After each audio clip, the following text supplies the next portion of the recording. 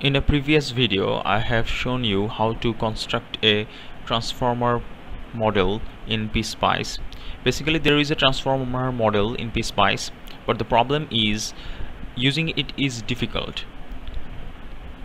So I have shown you guys that how to use the transformer.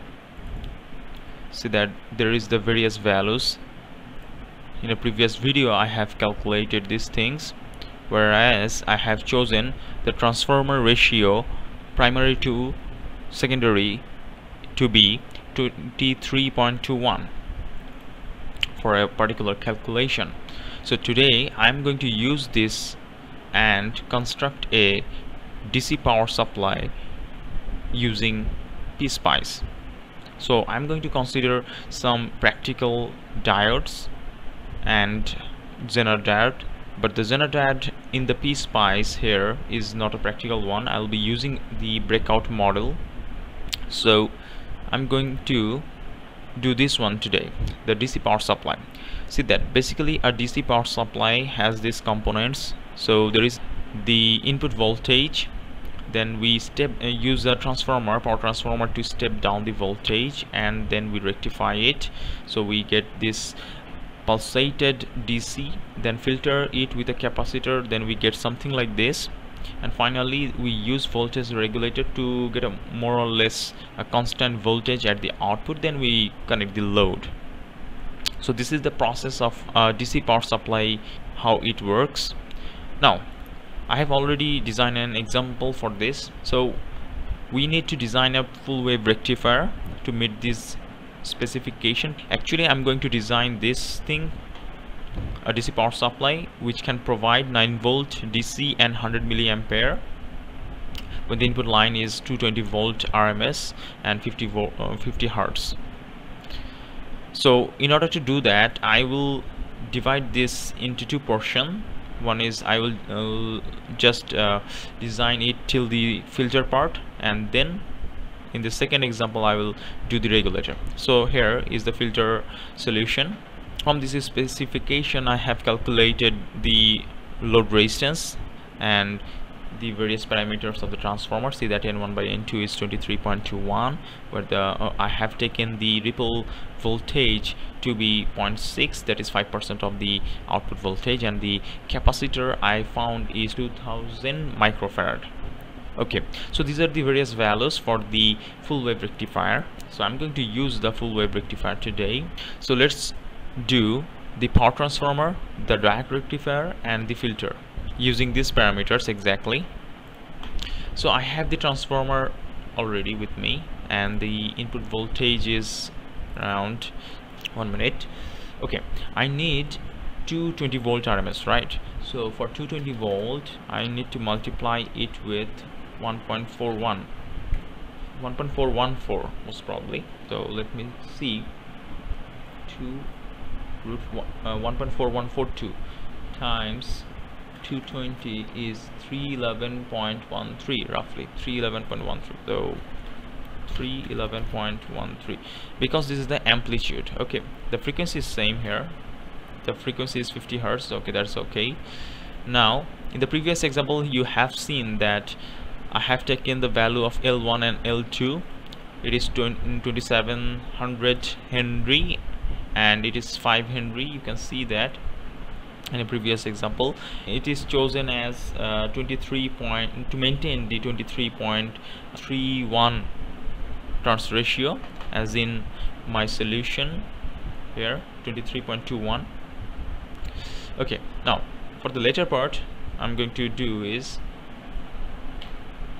so let's make the rectifier now. So I'm just deleting these portions first.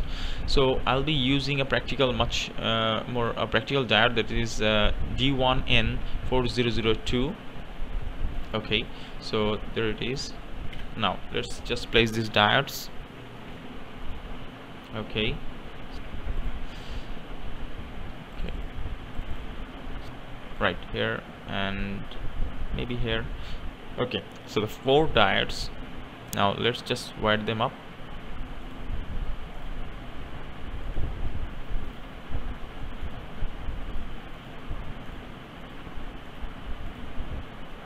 Okay so the rectifier you can see that. The rectifier is almost done.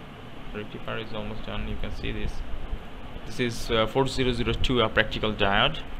Now the rectifier part is done. Now I have to take a filter capacitor of 2000 microfarad. So it's a very large capacitor. So let's take a capacitor. Okay.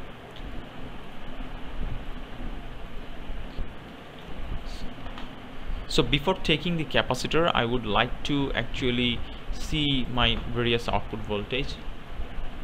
Because you'll see that the output we'll see is quite different one. So let's take a simple resistance first to check our output.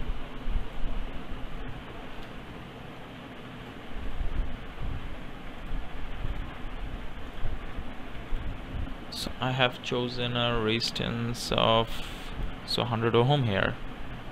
For okay so let's say 100 ohm. Just to see the simulation result how it is. And always remember uh, this is, this R2 is for the purpose of simulation only. In practical circuit you do not need to use this R2 so let's you take the value to be very large.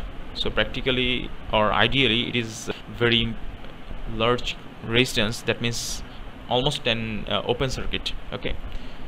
So now let us put I want to see the voltage at this point and uh, the voltage I want to see at this point and uh, at this point. Okay.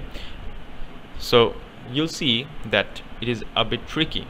Now let's save this transient. Yes. Okay. One second is good enough. Okay.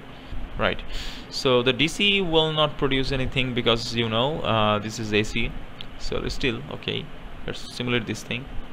You can see the values are zero here. There is some negative uh, values because of this is the AC you're seeing. So let's not just bother about it. This is the wave shape you're seeing right now. See that?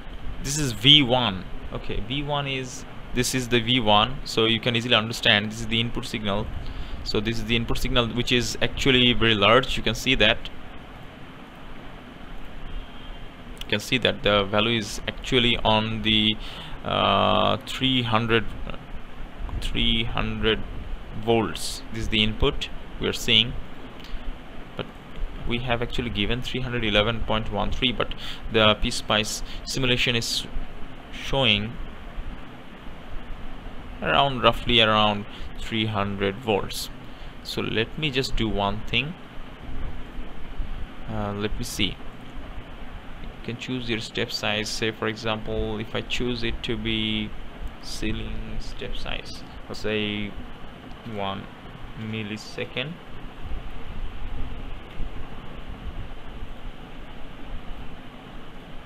Whether the curve smoothens or not should take a little bit of time now. Now let's see to make the curve uh, much more smoother. Now you can see it is actually uh, we have now more values. Now it is much more a uh, smoother curve. Now it's most probably 311 volts peak. Okay now let's go to my output waves. That is uh, at two different outputs you can see. One is the red one one is the green one. So which one is which one let's try to find out. Uh, this one at the output of transformer v tx4 most probably at this point is um, the red one. Okay. So the red one is showing that the voltage is uh, pretty small. You can see that as expected. So let's talk about the red one. So we are done with this uh, this one. So let's delete this one for a moment. Now let's see see that. The red one is uh, pretty good what we actually expected because see that the voltage level is uh, above. So you can actually measure that one too by uh, using this thing. Very interesting thing to see. So just select this this one first the red one I want to see. Now if you trace along this you see the peak voltage is around 13.21 volt or 24 volt 13.4 volt. Now what we expected is uh, 13.4 volt. We have designed for 13.4 volt. We are getting around that value right? So you can see that 13.26 is uh, 27 13.27 is the highest. So there is a little bit of discrepancy in the value. Now let's uh, talk about the green one is is at this resistance most probably. Okay let's see uh, what is the output we are getting. So the green one is diode 3 okay it is showing diode 3 which is most probably this one is the diode 3 the output across this diode and the ground. Because the reference node it will be taking the ground I would like to say that the green one you're seeing right here let's let me delete the red one first. Just press just select the red one and just press delete. Now the green one. Now you see that there is a negative voltage. It is not the correct one we that we want to see. And it is look this is half wave rectification almost right? Uh, but we are seeing a full wave rectification. So PSpice is actually tricking us. What it is doing is it is showing the output of this node with respect to ground. But we want the voltage output that we want to see is between the resistance. Okay so this node and between this node most probably. At that purpose what we're going to do is we want to okay now we want to see the output of two different these two different probes. Okay now let's see what happens okay this is as usual. Now let's simulate. We can see the output two different probes. You can see two different outputs. Now what we can do? And you can see this is nothing uh, like what we want. So in order to do that we want to this one. Okay or you can go add trace. Not the currents. Most probably uh, we can also skip the alias so we have these things right here with us. So D41 and D32 so D41 and D32 so let's see which one is which one. D41 and D32 D4 one is most probably this one and d32 is most probably this one. So the d32 minus d41 it is. D32 oh see that. There is no d32 so you need actually alias alias so vd32 minus vd41 vd41 okay most probably this will do the job. Let's see. We're pressing ok. And just now for removing the clumsy part just delete this previous voltages. Now you are seeing some voltage which is very much a thing of let's see the see the peak voltage is around uh, again this is 2.5 volt this is 10 volt. So we're guessing that this uh, this is at, at around 11 volt. So let's check the voltage again. The peak voltage is around you can say 11 point greater than 11.5 volt. Okay. And the interesting part about this thing is see that oh, the value is above 0 volt. So you're getting actually this portion. You're getting actually this portion without the filter. Now let's put a filter capacitor that is 2000 microfarad. See that the value is 2000 microfarad. Let's put this one in our circuit. The capacitance big capacitance that we have calculated. Then let's see what happens. So now the value was 2000 micro. Okay so let's write this one so don't fall for the trick of the PSpice now let's simulate. And we're hoping much more constant output. Let's see what happens now. So again you can see that our simulation output is actually tricking with us. So we again need to introduce the trace uh, remove the currents uh, most probably VD3 2 right? VD32 minus VD3 VD41 VD41 so okay. Now remove this previous. Now let's see. See that this is an entirely positive voltage and the ripple you're getting at here right so it's a DC voltage. Definitely a DC voltage. You can see that this is above 10 volt around 11 volt or something. Let's see what's the voltage level is at. So there is this uh, ripple voltage of the capacitor the 5% uh, ripple voltage of the capacitor. Now you can also check the peak value of the ripple voltage. That is around 11.5 on an average you're uh, we are getting uh, 11.4 volt because if you average this ripple voltage that would be the average voltage. 11.4 volt is the average voltage at this end. Now let's draw the rest of the part for our DC power supply. Now let's remove this resistance which we are supposed to, uh, for this resistance we would have get 120 milliampere current. Now with that 120 milliampere current we have already designed it for 120 milliampere current. Now what I'm going to do is I'm going to introduce some circuits towards the right actually a regulator circuit. Uh, more precisely I'm going to uh, see that after filter there is this voltage regulator circuit. So I'm going to just uh, draw the regulator circuit a series resistance a load and I need a capacitor uh, uh, I need a uh, Zener diode I'm going to use this breakout Zener diode the characteristics of the breakout Zener diode is actually uh, dependent on my calculation of the circuit. It actually changes accordingly. It adapts very well. So I'm going to discuss this thing. Okay. So so this is my circuit. You can see that so now for this uh, regulator purpose this example so now see that uh, 12 volt at the output and should deliver 120 milliampere uh, sorry the input the input is 12 volt uh, this is the now yes uh, this is the rectifier right? So this is the rectifier I'm going to use this rectifier output as an input purpose for the Zener circuit. Okay so I need to produce 9 volt 100 milliampere as output. So I'm going to use that rectifier's output as input.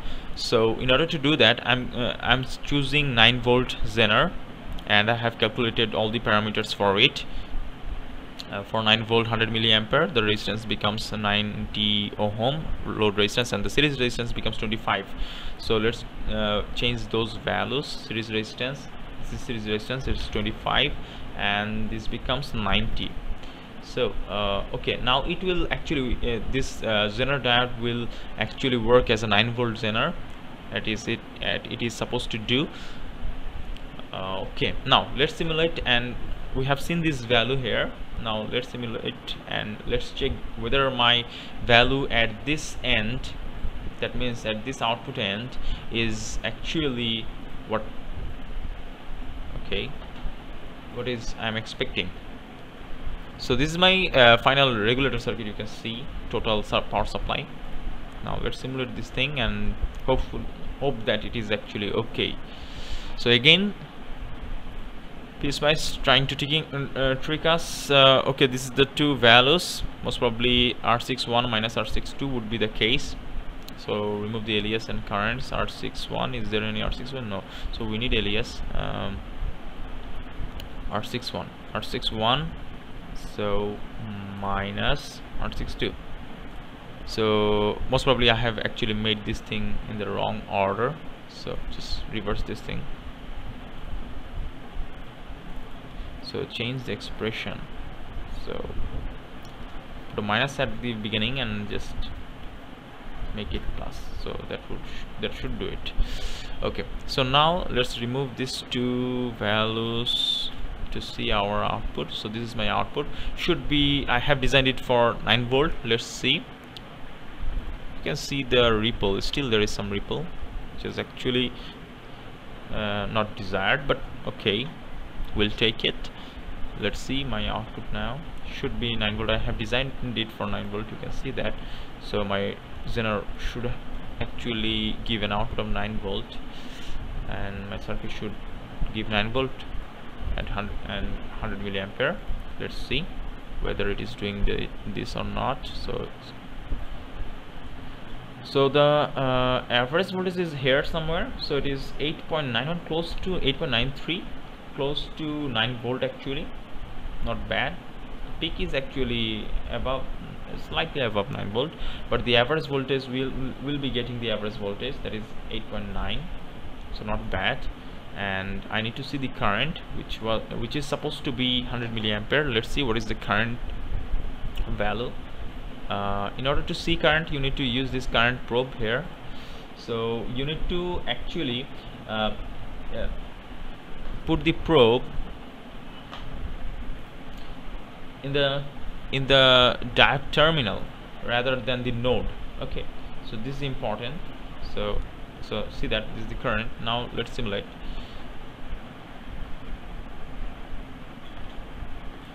now see that. This is the output again. We can see that uh, I don't need anything here.